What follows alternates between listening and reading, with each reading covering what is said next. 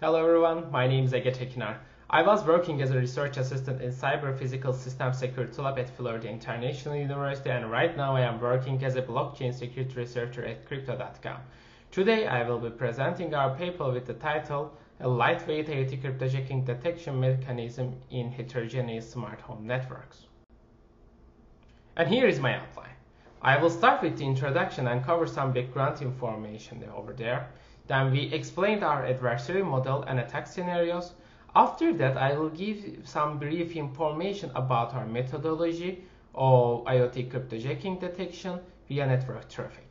Then I will be presenting our data collection process and finally we summarize with the overall evaluation results and conclude the presentation in conclusion. Let's start with introduction.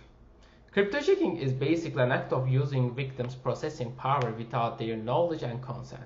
And we generalize their target coverage under two main domains, in-browser cryptojacking and host-based cryptojacking. And actually, there are some important accidents found in found a place in media in last several years. For example, critical structures such as United States Department of Defense, United Kingdom Governmental Services, and even Russian nuclear Science Lab infected by cryptojacking malware. Well-known streaming platforms like YouTube, several hardware components and game consoles, and big server structures like Amazon Web Services have been infected by cryptojacking malwares. And of course IoT networks. As we all know, in the last couple of years, IoT devices become the new favorite toy of the attackers. Mirai-inspired botnet attacks use some IoT botnets to perform cryptojacking and create a giant cryptojacking mining pool with the, those IoT devices. There are a lot of other well-known malware types weaponized to perform cryptojacking attack on different IoT device platforms like uh, such as EnemyBot, Spring4Shell, Glupteba, and TigBot. And IoT devices are lucrative for the attackers because these devices are not easily configurable by their end users and they have very low level security solutions. So let's have a look at some past uh, detection mechanisms and why they are not very well uh, fit for the IoT detections. Hardware leveraged features like CPU event, memory activities, hardware counters, and system calls all are perfectly working with the, uh, our traditional computers, but not applicable for IoT devices because they are not programmable to collect these features. Browser-specific features like JavaScript completion times and static source code analysis is very also very good at detecting uh, in-browser cryptojacking, but it, they are not applicable with IoT devices again because IoT devices basically doesn't run a browser.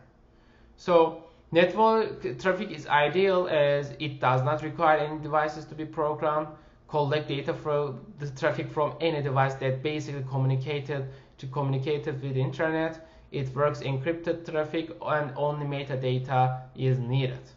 Uh, but we still have several problems with the IoT cryptojacking det detection because all the techniques, uh, there are very well-known techniques such as evasion techniques, such as CPU limiting by throttle functions, minimize communication, and high device diversity and heterogeneous network traffic are where our main challenges.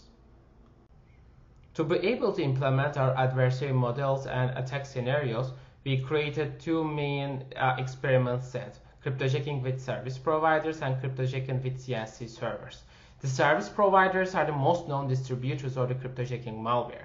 To be able to see the behaviors of service providers, we set up a web page filled with different cryptojacking malware scripts, and we also integrated the cryptojacking malware into LG's WebOS TV operating system through its HTML compilation libraries.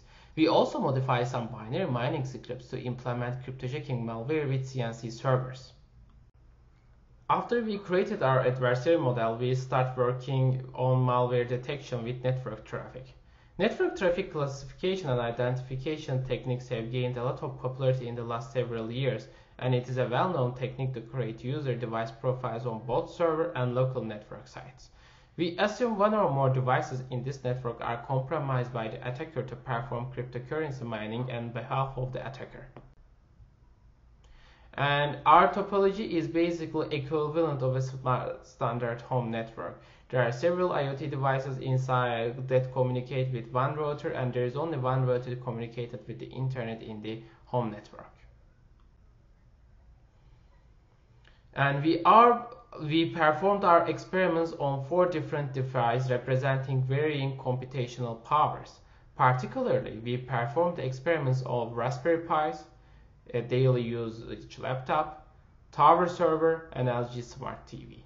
Raspberry Pi and LG Smart TV represents the IoT devices in a real-life network, while laptop represents a regular device and tower server represents a computationally powerful device. To be able to implement our cryptojacking under a safe environment, we launched the basic WordPress page which contains several different cryptojacking malware. We actually implemented two different versions of this application to observe two different models. These models are realized on the first in the first one, CNC server creates its own mining task, and in the second model, CNC server connects the mining pool to receive the mining task and distribute the victim devices. In this page, you can see our datasets in depth. We collected 11 malicious and 5 benign datasets to perform our experiment.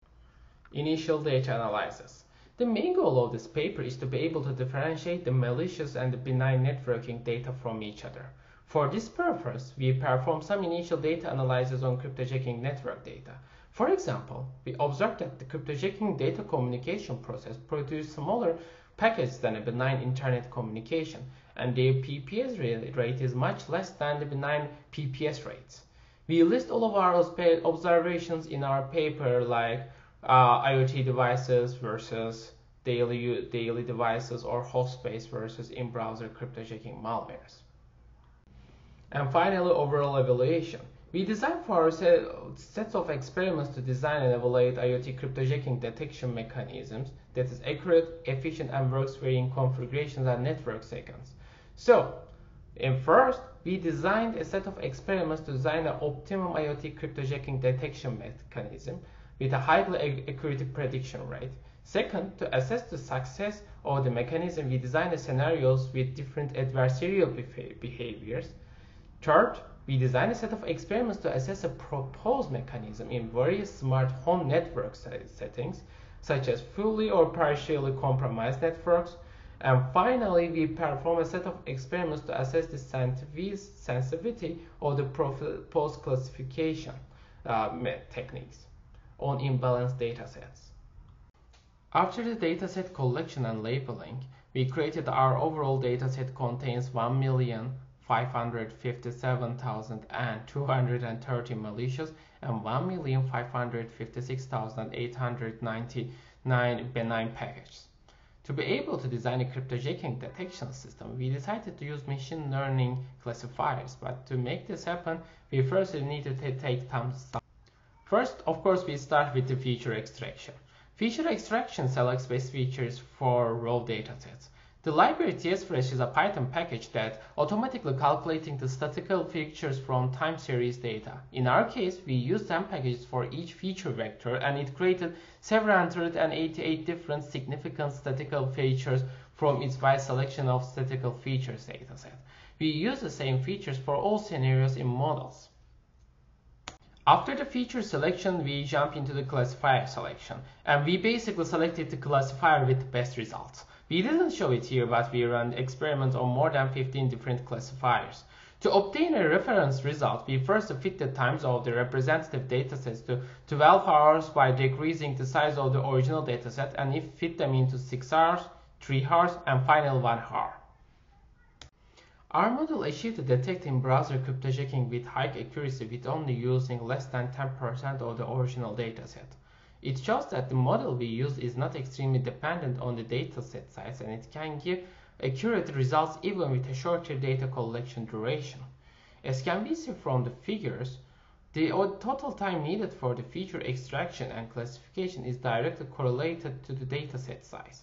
In addition to this, with very low feature extraction and classification time results, we still manage to get near perfect results.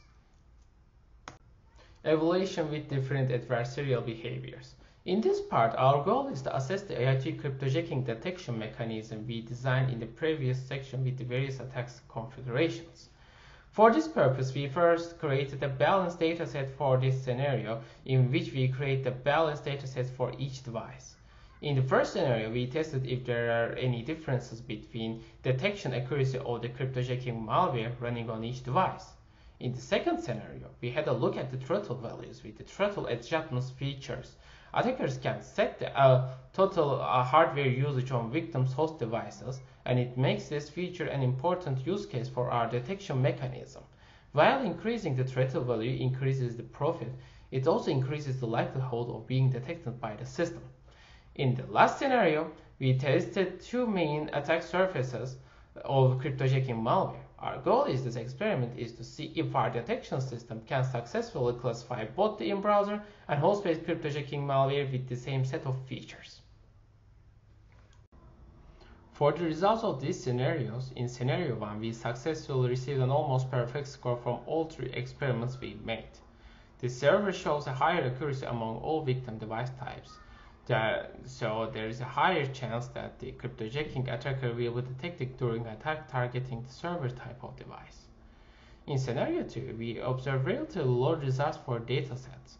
And finally, in scenario 3, we can see the effect of the combination of obfuscation methods on in-browser cryptojacking detection samples. The general results for in-browser cryptojacking malware are just one or two steps behind the host-based cryptojacking malware samples.